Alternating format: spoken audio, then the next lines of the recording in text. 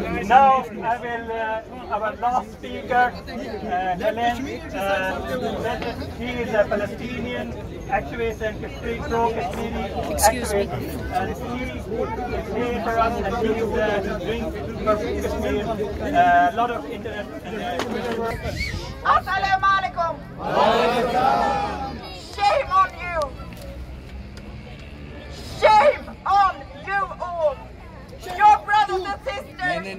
Are bleeding in Kashmir. They are bleeding and you are fighting.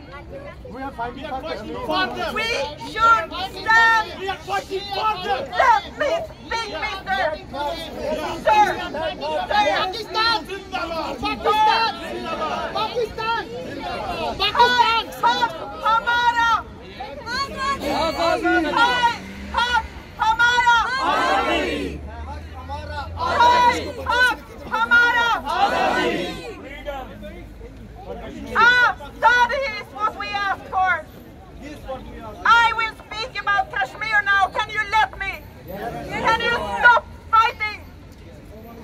Thank you very much. I will speak in Swedish.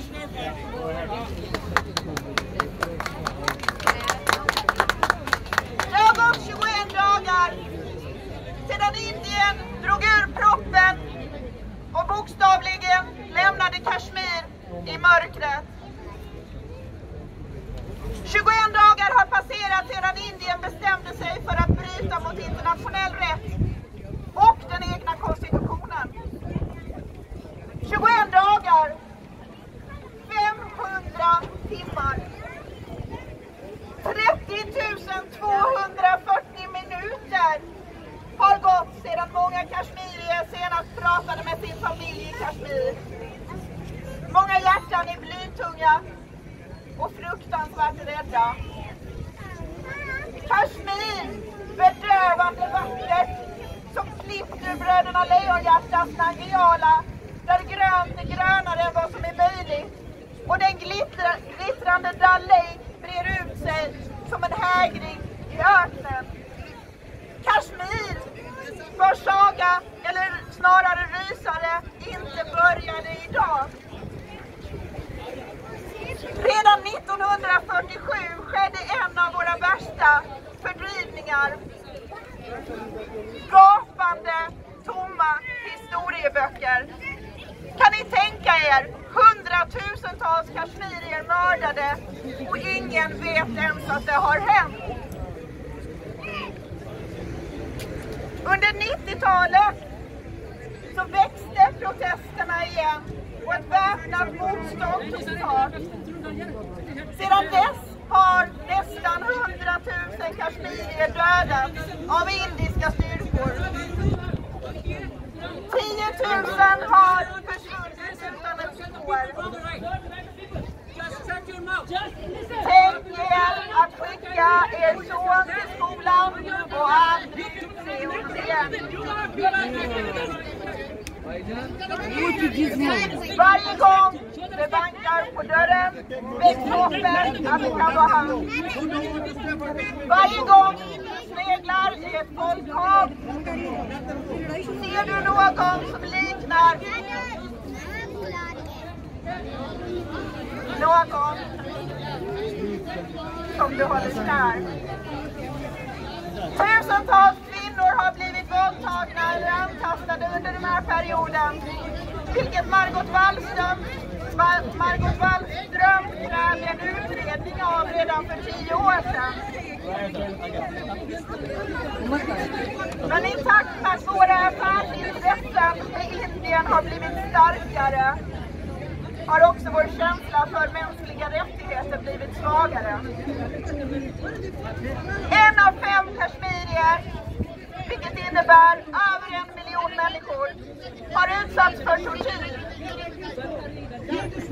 Det kan passera utan ett ord. Eller så kan du nudda vid tanken att ditt huvud sänks i vatten och hålls fast tills du nästan förlorar medvetande. Du kan för en sekund tänka... यार यार बंद करो थिएटर की घर सुनो गल कर निकल प्रसाद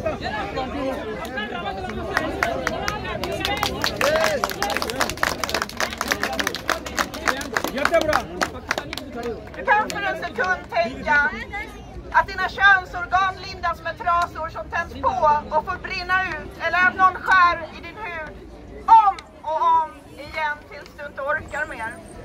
Det finns hundratusentals det finns hundratals tortyrcenter i Kashmir. Indien kallar dem för häkten. Många som har hamnat där har aldrig kommit hem levande. Andra lever, men med sviterna av tortyren fastbrända i minne och själ. 2016, då dödade Indien Buranwani den unge man som galvaniserade motståndet mot ockupationen och tog sociala medier med storm. Uppropet, eh, upproret som startade på 90-talet har aldrig fortsatt. Det har aldrig slutat. Det har fortsatt även om Indien försökt att lägga locket på och cementera sin slogan Allt är bra i Kashmir. Förra året dödades fler människor än på ett decennium i området. Över 500 människor. Terrorister skrek den BJP-ledda regeringen i Indien och deras förlängda arm media har sedan dess trummat ut den sanningen även till oss. Var också Sam en terrorist? Han gick ut för att stänga en stalldörr en tidig morgon och översköljdes av, av kulor. 35 stycken indiska kulor i bröstkorgen och inga rubriker i mainstream media. Hans begravningståg besköts med tårgas och hans bår fick jongleras till sin sista vila. För kash- kashmirier är avhumanisering total om du är levande såväl som död.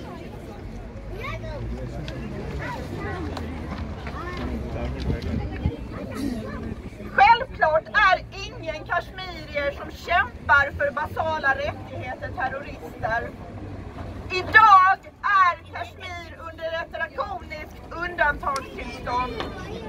Flera personer har dödats, mer än 4000 personer har fängslats, också kvinnor och barn. Barn har slitits ur sängen och förts bort bort i skydd av mörkret och rapporter vittnar om övergrepp mot kvinnor. Journalister har överhuvudtaget inte kunnat rapportera vad som händer för omvärlden är sidorna från Kashmir blanka.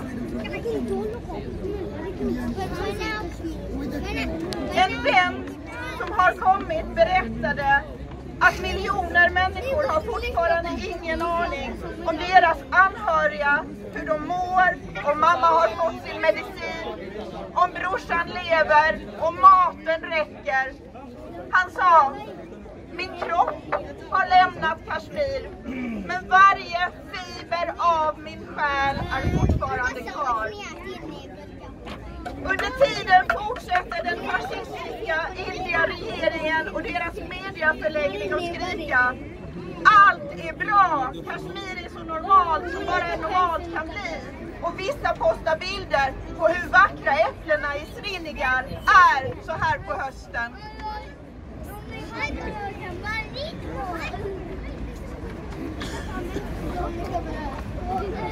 Indien har vägrat att hålla den folkomröstning som Kashmir har rätt till. Inte en gång, utan flera gånger. Man har vägrat och samtidigt fortsatt att begå krigsbrott i Kashmir. Kashmir har varit ockuperat i 72 år och vi, vi har vänt bort våra huvuden och låtit ohyggliga brott begås mot det kashmiriska folket. Vi har negligerat deras rop på rättvisa och låtit hundratusentals människor dö utan ens en rad i våra tidningar. Vi har svalt indisk propaganda och klippt och klistrat de sanningar som levererats från Delhi utan ett uns av kritiskt tänkande. Vi har blundat för massakrer, tortyr, våldtäkter, för de försvunna och de nu blinda massorna som skjutits rakt i ögonen. Men nu, Nu kan vi inte längre vara tysta. Indiens glittriga fasad har fallit. Deras krigspropaganda ekar ihåligt i takt med att sanningen sjunker in bit för bit. Ockupationen är ett faktum och den är så brutalt naken att ingen längre kan missa att Indien idag annexerar Kashmir och förtrycker hela befolkningen på det mest hänsynslösa sätt. Nu, nu har vi vaknat och denna gång ska vi inte släppa taget. Inte svika Kashmir igen. Inte blunda för alla brott. Och runt om i världen reser vi oss Politiska protester har skett i London, i Islamabad, i Washington, i Istanbul. Mainstream media, sociala medier och politiker har vaknat. Och lite yrvaket börjar de säga saker som de är.